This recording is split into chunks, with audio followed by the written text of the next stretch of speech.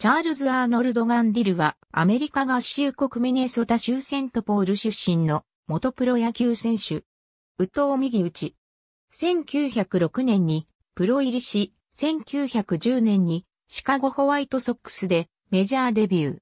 その後、ワシントンセネタースとクリーブランドインディアンスでキャリアを重ね、1917年にホワイトソックスへ復帰した。この年は、レギュラー一塁手としてワールドシリーズ制覇に貢献した。2年後の1919年にもリーグ優勝に貢献し、チームはシンシナティレッツとのワールドシリーズに駒を進める。だが、当時のチームと球団フロントとの関係は良好と言えず、ホワイトソックスのオーナーであるチャールズ・コミスキーは必要な経費を出さない極端な臨職家だった。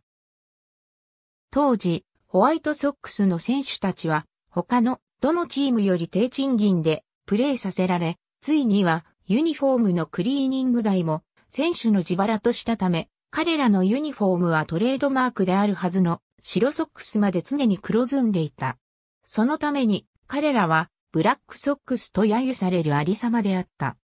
こうした仕打ちに耐えかねていた選手たちのうち、賭博の主導者であるアーノルド・ロススタインの手下の誘いに乗り、最初に八百長に手を染めたのがこのガンディルである。ロススタインはガンディルに敗退行為に協力する選手を集めさせた。そしてシリーズは投打の主力が八百長に加わったこともあり、5勝3敗でレッズが球団初の世界一を手にした。その2年後の1921年、ガンディル、同じく八百長に手を染めたシューレス・ジョー・ジャクソン、エディシー・コットら8人を、球界から永久追放とする処分を下された。上記の事件により、休会を去った後は、少年時代を過ごしたカリフォルニア州に戻り、廃観光に転身した。その後、1970年に心不全により死去した。ありがとうございます。